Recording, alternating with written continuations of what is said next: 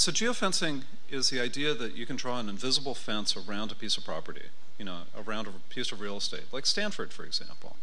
Um, and as you cross that geofence, your phone says, you know, it can give you a notification, can simply change its display, can switch your social feeds, you know, because you're arriving at work from personal to professional, although some people may want to go the other way. Um, you know, those sort of things, because you actually cross that geofence. The concept that the phone is aware of your location is only so valuable. It's more what that location, the context of that location, that's, that's more important. And so, um, yeah, uh, I'll give you an example. Uh, there's a coffee company that we probably have all heard of. Uh, I, will use one that we've all heard of. My apologies. Um, you know, uh, something to do with pirates and Starbucks and all that sort of stuff. And what the the question that we wanted to be able to solve, not for them specifically, but for for any old coffee company, is how do you offer coffee as a service, as a subscription service?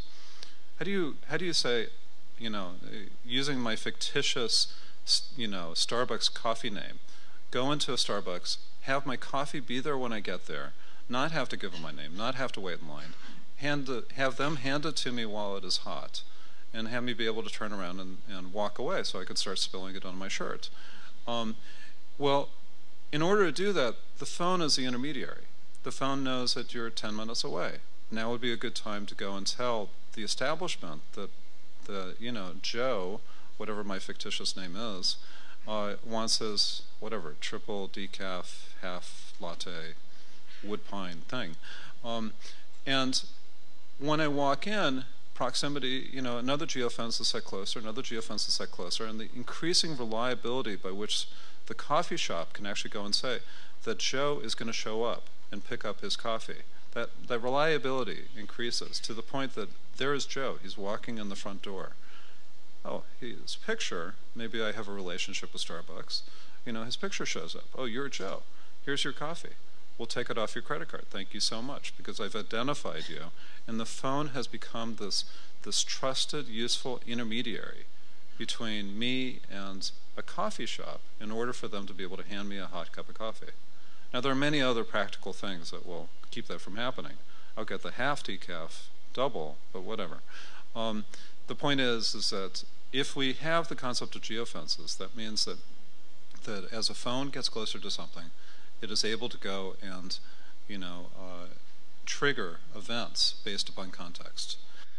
I think it also brings me to the next topic because if we can solve the privacy, privacy and identity problem and take that off the table, and let's say we can for a second, I'm hopeful we can, I think then the ability to innovate is just unbridled. We have incredible opportunities. And what we think about with mobile and what we're thinking about with our clients every day is how do we change behavior?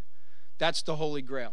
Right? How do we take this device and really shift somebody's behavior in a good way in an outcome that's good for them and the company?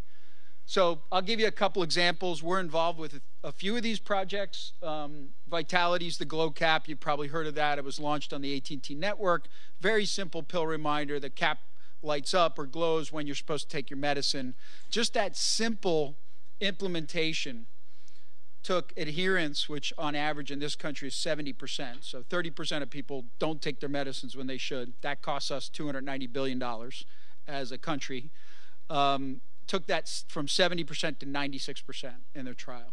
So just that simple implementation.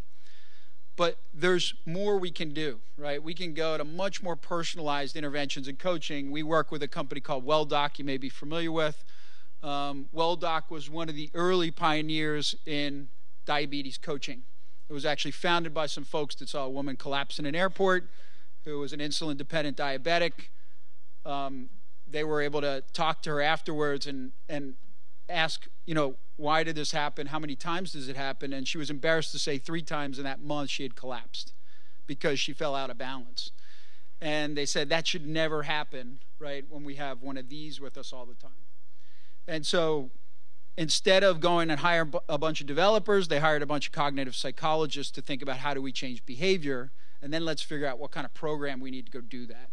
And after six long years of educating the FDA. They're the first FDA approved mobile app for disease management. The reality is, we can see Siri as a voice agent. Um, behind the scenes, what Siri is is a behavior change tool.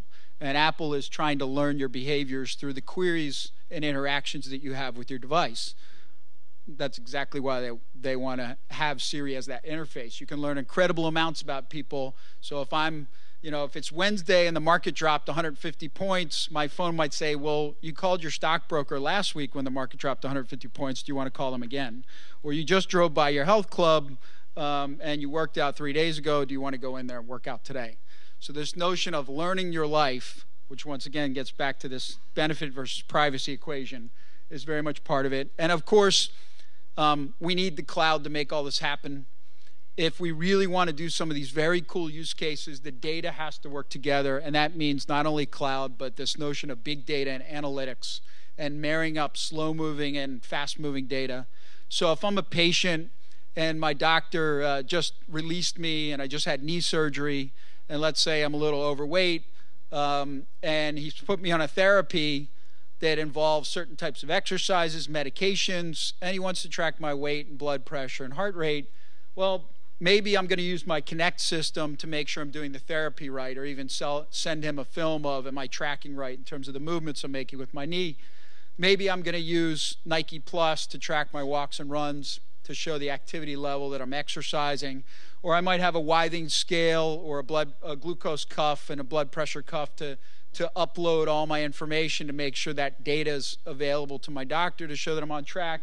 And I might even want to share it socially with my friend, my wife, my caregiver to make sure they know I'm on track.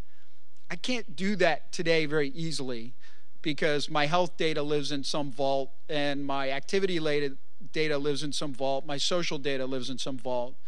I need to bring that together in a way that I control it. And we're still getting there, but there's a, there's a huge opportunity to bring this data together.